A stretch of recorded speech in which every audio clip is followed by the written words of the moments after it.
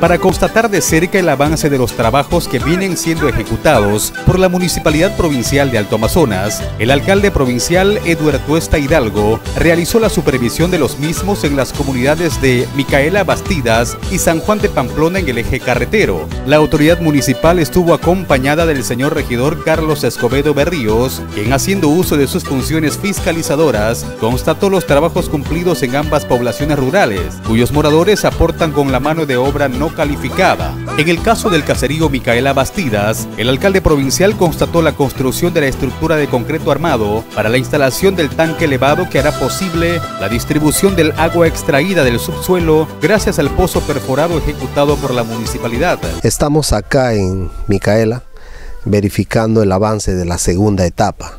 No olvidemos que acá estuvimos eh, cuando con mucha alegría lanzamos, levantamos la palanca y empezó a salir el agua. ¿no?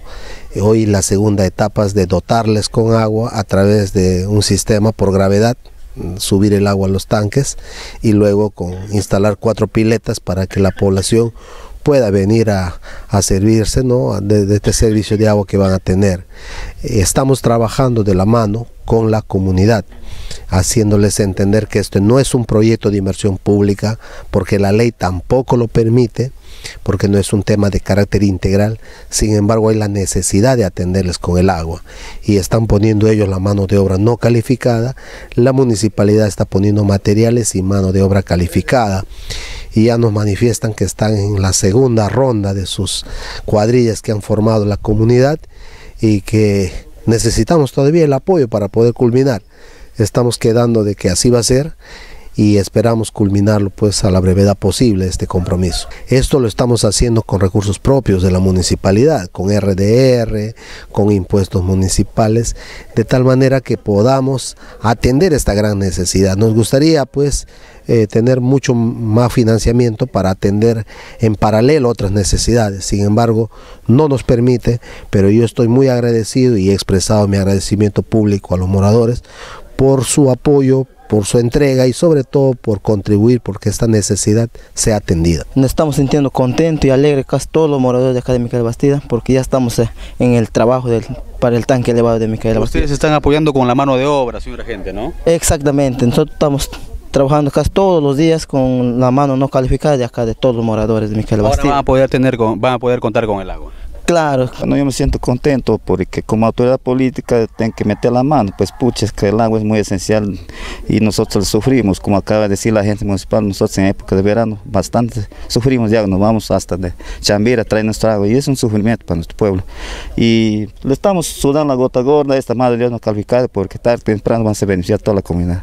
El trayecto de la autoridad concluyó en el caserío San Juan de Pamplona, kilómetro 35 de la carretera Yurimaguas-Tarapoto, donde se verificó el avance de la construcción del comedor popular de la institución educativa Juan Primo Ruiz.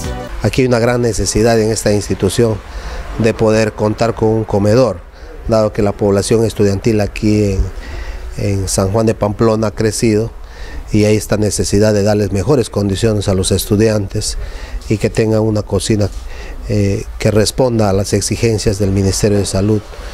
Entonces se ha coordinado con ellos este es un tema que lo venimos trabajando ya muy buen tiempo y que está en su etapa final para poder concluir con este trabajo. Acá también en algún momento la población ha puesto su mano de obra, como en estos momentos sí estamos en acabado, necesitamos la mano de obra calificada. Ese es un compromiso nuestro y estamos cumpliendo.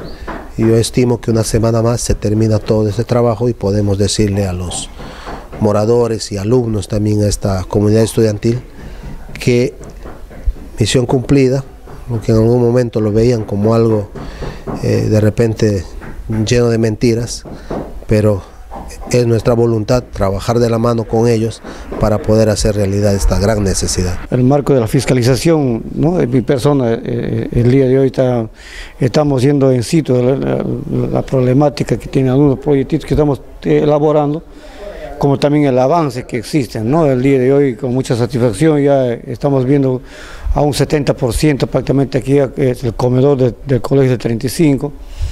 También hemos recorrido lo que es eh, Micaela, un avance considerado también con, el tema del agua.